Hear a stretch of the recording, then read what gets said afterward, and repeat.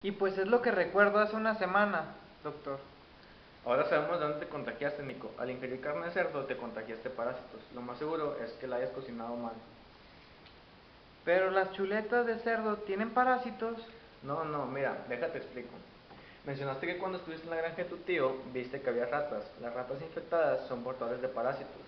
Pero yo no comí ratas. No estás entendiendo, pequeño.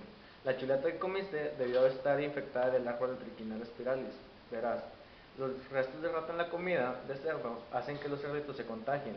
El parásito viaja por los intestinos del cerdo y por la sangre. Llega a sus músculos, que son la carne que comiste. Entonces, los huevecillos del parásito entran a tu pancita, se incuban en tu intestino, salieron de su huevo y empezaron a crecer. Es por eso que te dolía la pancita y tuviste molestias. Si no hubieras venido a tiempo, los parásitos hubieran afectado tus músculos y pudiste haber muerto. Así que te recomiendo que cuando cocines carne, procura cocinarla bien. Dile a tu tío que extermine las ratas, puede infectar a los demás cerditos. Y a los que comieron carne,